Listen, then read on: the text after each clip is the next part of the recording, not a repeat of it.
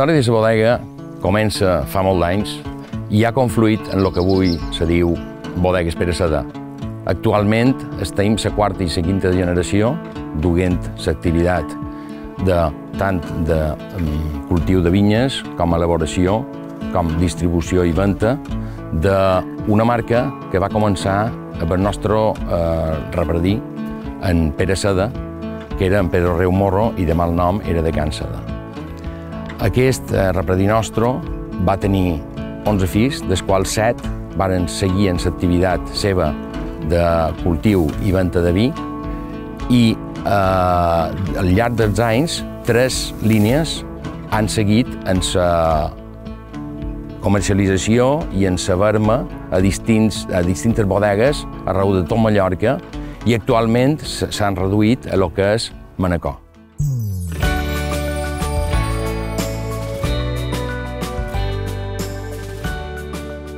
Pere Seda tenia 11 fills, dels quals 7 pues, eh, se van dedicar al món del vi. Durant bastant d'anys, cada un tenia la seva parcel·la i el seu poble per poder eh, anar elaborant vi o comerciant en vi. Eh, tres dels fills de Pere Seda se'n van anar a Xile i varen interrompre una mica l'activitat de Mallorca. En concret, el meu predí va estar allà durant eh, vuit anys, on se va casar amb una filla de mallorquins també, i eh, llavors, quan un germà seu, en Guillem, se va posar malalt, ell va tenir que tornar i entonces aquí va regentar bodegues que en aquell temps pues, eren a Falanich, a Manacor, a Porreres, inclús dues a Palma, en fi, que mm, diguem, l'activitat era bastant extensa i se dominava bastant el que era el mercat del vi mallorquí. Dels altres dos germans que van quedar a Xile, un d'ells també va sembrar vinya i va créixer moltíssim, fins al punt que actualment tota una part eh, oriental de Santiago de Xile pues, és seva i té vinya i, bueno, i se segueix una mica en l'activitat en, en bodegas eh, Santa Catalina. Eh, una vegada va tornar el meu prediquí, en els seus germans, concretament dos, se varen juntar i varen confluir en el que avui se diu Pere Seda.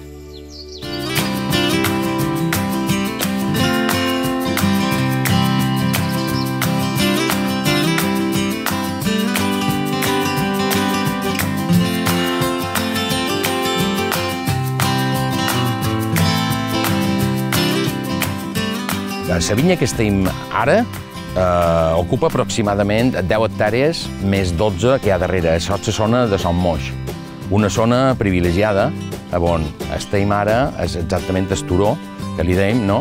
i varen sembrar aquí tant el Chardonnay com el Merlot per molt de les característiques tant dels sols com de la pendent. No? Cada rem i cada vi necessita un tipus de sol i un tipus de, entre cometes, microclima per poder eh, aconseguir el que nosaltres volem. En total, nosaltres disposam de monodrin de 104 eh, hectàrees, de les quals 53 són nostres i la resta compram a viticultors de la zona, tant de les comarques de Manacor com de Falanich, inclús eh, de Petra, de Llumajor, i l'emplaçament de cada una de les vinyes ha anat canviant a mesura que hem anat sembrant segons les característiques del vi que volen aconseguir. Per tant, nosaltres tenim una gran extensió, que és aquí, però després tenim distints emplaçaments on cada tipus de rem, cada tipus de varietat, cada tipus de sol i cada tipus de vi que volen aconseguir eh, ha estat primordial per triar l'emplaçament de la vinya.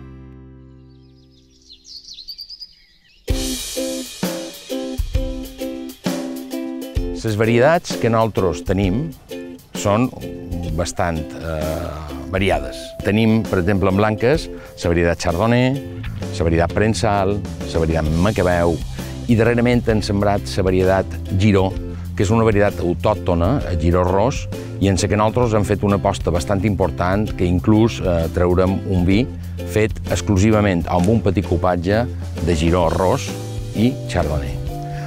En varietats tintes tenim tant escallet, com, eh, que és autòcton, com eh, cabernet, merlot, sirà, ull de llebre, que és tempranillo. Les vinyes estan, eh, l'emplaçament d'esplai llevant, sobretot són eh, Margo Caliza, el que se diu eh, call vermell, també molt de call vermell. La diferència bàsica en la zona de, diguem, de, de Binissalem és que aquí la costra, l'horitzont eh, cali, calís, està menys fragmentat que allà. És vera que aquí el drenatge és diferent allà. Allà, quan drena molt, i aquí drena, retén un poc més d'aigua el qual en segons quines varietats és bastant, i en la climatologia que tenim avui en dia, és bastant important.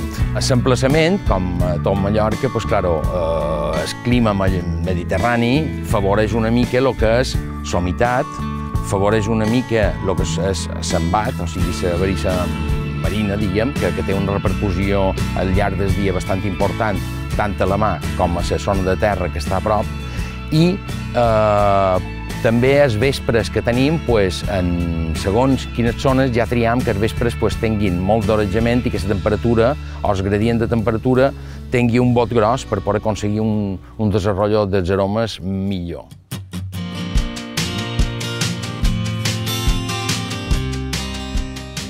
Nosaltres estem dins el que se diu producció integrada.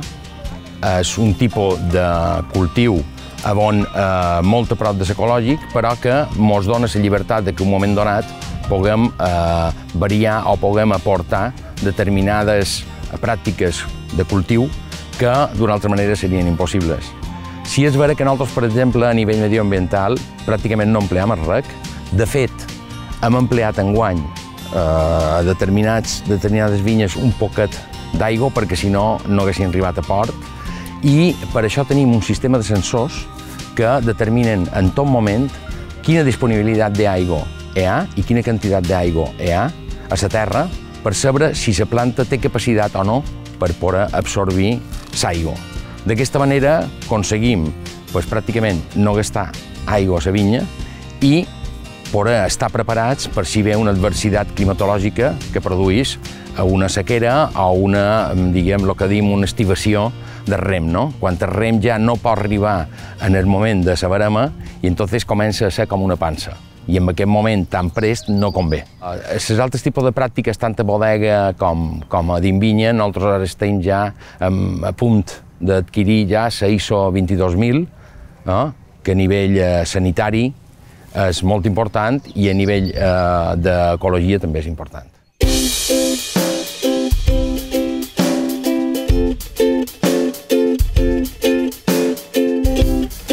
Anant, Rafael? Va bé, mira. Això és el rei del guany, seleccionat. I de... A fi efecte de que sigui el més tot, jo crec que aquest. Per ahir que està bé, per ahir que està bé. Correcte, pot provar. En Rafael és de la quarta generació com jo, és el més veterano de la bodega actualment i, bueno, com veus, no perd dia que no passi per la vinya i avui, concretament, doncs, està mirant mem la selecció que hem de fer del tipus de gra que, que hem de vermar per aconseguir un merlot adequat a la necessitat que tenim ara de fer un bon criança. Ara, si ho vol mirar... Ah, sí. Mira com està. Va, ja el veig bastant bé, bastant T'apareix que com té la pepita? Sí. Bé, no? Està molt bé, ja. Nosaltres miram que la pepita estigui eh, com a lenyosa, és a dir, no només per mirar la maduració de rem, no només és la quantitat de sucre que dugui, o inclús l'acidesa que té, sinó també el grau de maduresa, i això se veu a camp. És a dir, nosaltres ara veiem que la bebida està lignificada, que té llenya, vol dir que està a punt ja per vermar. Mm? Correcte. Una altra cosa seria el grau de sucre, que va cresquent mentre davalla l'acidesa. I és important que mantenir una acidesa també per aconseguir que els vins tinguin vida, que tinguin llarga duració. És dir, són distints paràmetres que tant se veuen a peu de vinya com després en el laboratori a bodega. I bueno, I bueno aquestes vinyes, tu, vinyes, tu els vas veure sembrar? Sí, eh, ja fa 20 i pico d'anys que se van sembrar aquestes vinyes, quan pràcticament començàrem nosaltres, la nostra empresa, a elaborar vins produïts per el rei nostre, i això va ser una de les primeres, estan amb una separació d'un metre vint per, per cep, a 2,20 per filera, allà on les màquines puguin fer feina fàcilment i, i, i tinguin una bona, una bona producció. Lògicament que l'altura no és molt elevada per eh, qüestions d'humitat. Aquesta vinya té bastanta d'aigua, per lo tant, és alteta. Diferent que, per exemple, la Manxa, que la Manxa, pues, hi ha eh, falta d'humitat i les vinyes són baixes. En contrapartida, els vins de Galícia tenen molta d'humitat i les parres són altes.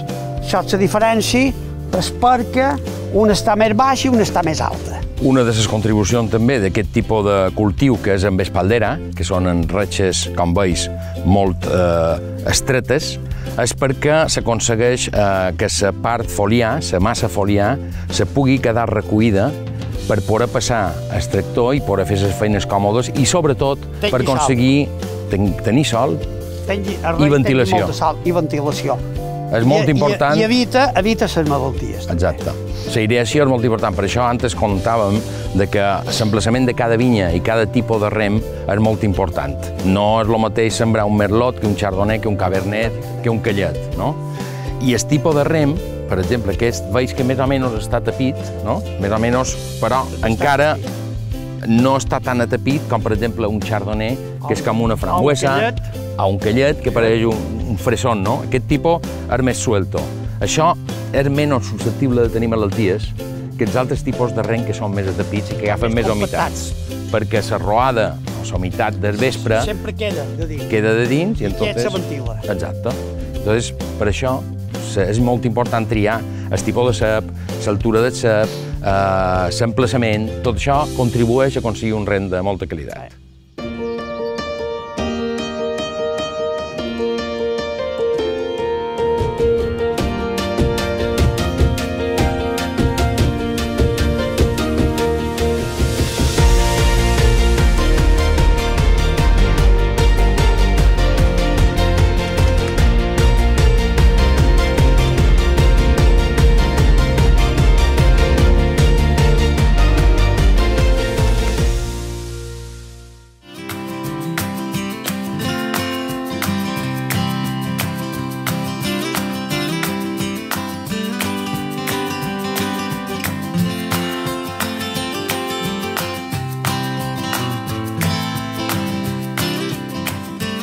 Ara ve el procés, diríem, també molt important, a part de que la vinya és la part més important amb una elaboració d'un gran vi. En aquests moments ara rebem eh, la varietat Merlot, que és una varietat tinta, i que eh, remolc, veureu com trabuca cap a la tolva de recepció, a on separarem la eh, rapa, o el racimo, que és la part verda, l'escobajo, que no seria beneficiós si estigués en sorrem quan fermenta. Llavors feim una despalillado i després un eh, estrujat que romp el gra de rem per després ser bombeat cap en els depòsits. És dir, això seria el procés previ a l'encubat del rem per produir, en aquest cas, un negre de qualitat. Eh, els negres eh, fermenten sempre en la pell, a diferència de rosats que no fermenten en la pell, o els blancs, i se fermenten en la pell per poder extreure una capa de color, o antocianos, i una capa tànica, també una part tànica, per poder tenir una estructura i aguantar al llarg del temps el vi. Amb el tema dels blinds entraria igualment, com veiem, en la tolva de recepció, però en lloc d'anar a un depòsit aniria directament a premsa. Per què a premsa? Perquè el que ens interessa és separar el que és la part sòlida de la pell, perquè la pell eh, no pot fermentar en sorrent perquè li donaria notes amargues a un blanc que el que volem és més frescura. I així aconseguim que el most fermenti tot sol a un depòsit, per supost amb una temperatura controlada, tant en negres com en blancs, i finalment el rosat seria el mateix procés dels blancs, és a dir, s'agafa el rem, se despalilla, però després va directament a premsa perquè, com han dit, no ha de fermentar en la pell. Això serien les tres, les tres games grosses de fermentació i d'elaboració dels rems que entram a dins la bodega.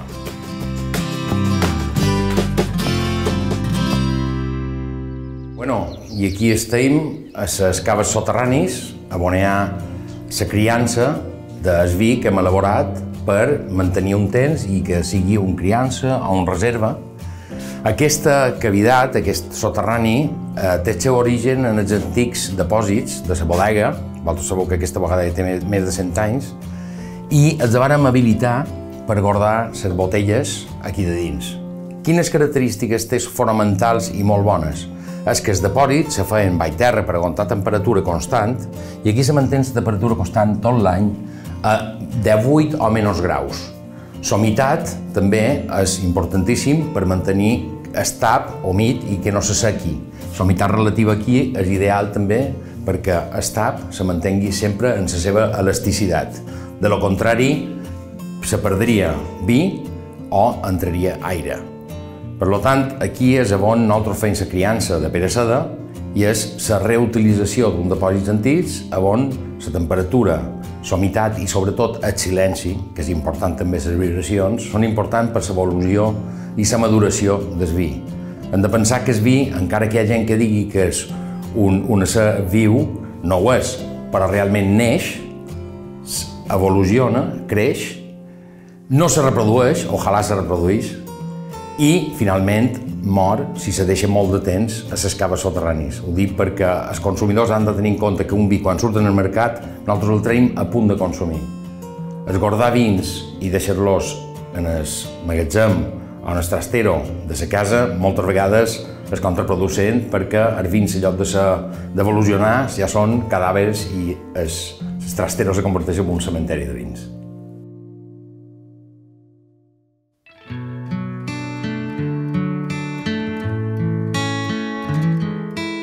Ara ve el moment crucial, que és després de l'elaboració, poder tastar els vins, en el cap i a la fi és el resultat de tota una tasca que, com heu vist, per lo menos té moltes variables que poden anar bé o no poden anar tan bé. Aleshores, aquí tenim eh, la gamma de vins eh, Gullum. Gullum és una marca que van treure ja fa més de 10 anys i que eh, és un tribut, eh, un homenatge a la introducció de la vinya a les Balears per part de romans. Gullum va ser una ciutat que no s'ha trobat mai, per això se diu un tribut a la ciutat mai trobada de Gullum, on hi ha constància eh, en literatura de gent que va néixer a Gullum, però l'emplaçament no està determinat encara.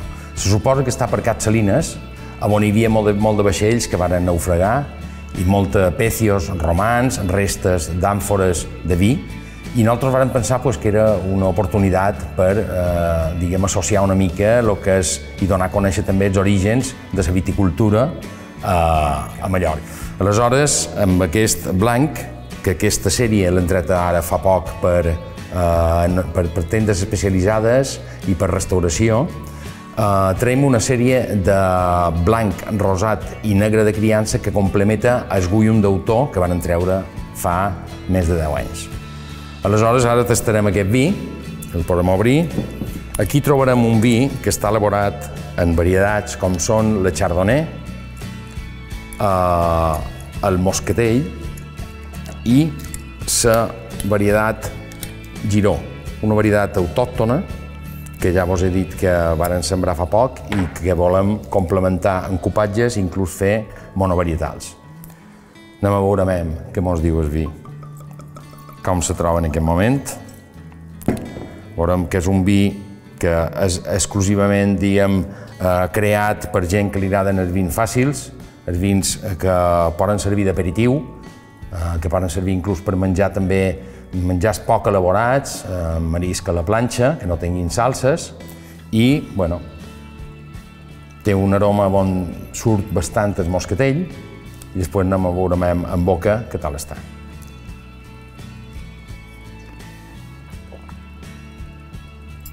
Bueno, jo com a amor de padre vos puc dir que per jo és un vi excel·lent, amb un maridatges molt fàcils, molt fàcil de veure i que tant eh, pot ser pres entre menjades com a menjades que tinguin eh, poca elaboració i que no tinguin massa, massa salses. Bueno, si voleu, passam eh, en el següent vi, que poden tastar de la mateixa gamma, aquest vi està fet a base de merlot i l'autòctona quellet, en la línia de fomentar les varietats autòctones de la nostra bodega i representa pues, un canvi a la nostra manera d'elaborar, perquè això són vins d'autor, que juntament amb el mossèn són vins on ens van prendre la llibertat de tenir, allò de 12 mesos o 6 mesos en barrica, nosaltres vam dir, emplearem el temps de volta que sigui necessari cada any. Aquest gullum, pues, com he dit, està fet en, en merlot i gallet. El merlot li aportarà estructura, capa de color, capa tànica i vida, i el gallet li donarà aquell toc d'aromes típics mediterranis, com el pell de taronja, com són aromes que són més nostres i que complementen molt bé perquè a la varietat Callet li falta color, a la varietat Merlot va sobrada de color, a la varietat Callet li falta estructura però té molta frescura i molta frutalitat i la varietat Merlot complementa molt bé amb aquest tipus de varietats. Anem a veure què tal està. Aquest vi pues, denota notes de confitura, notes de fruita madura, cosa que s'aconsegueix també en la sobremaduració de rem. Mm? Hem de dir que, com heu vist a la vinya, segons el moment de cuita, serà la vocació del vi. En aquest cas, nosaltres fem una cuita molt escrupulosa de rems més madurs de cada cep per poder arribar a bodega i poder elaborar una microelaboració a partir de eh, rems molt seleccionats.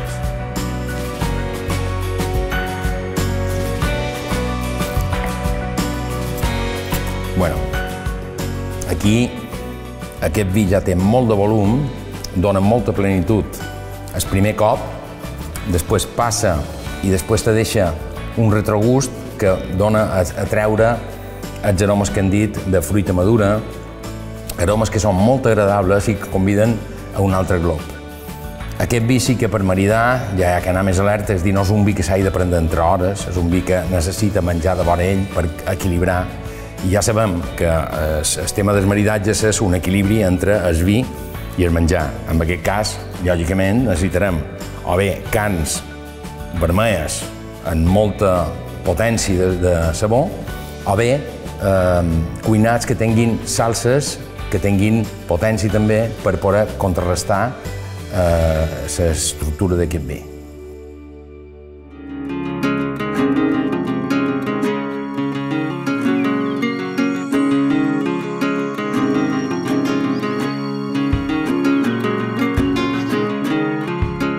I ara, com a colofon final, i espero que vos hagi agradat la visita a les nostres bodegues familiars, eh, brindarem amb aquest eh, Brut Natur, que és un vi escumós fet en someta de Champagnois i que tan orgullosos estem nosaltres d'ell.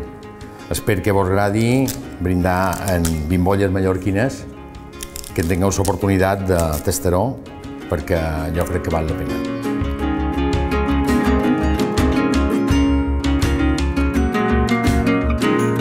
Molta salut a tots i que puguem tornar a brindar tots junts les nostres bodegues on vos esperam. Gràcies per tot.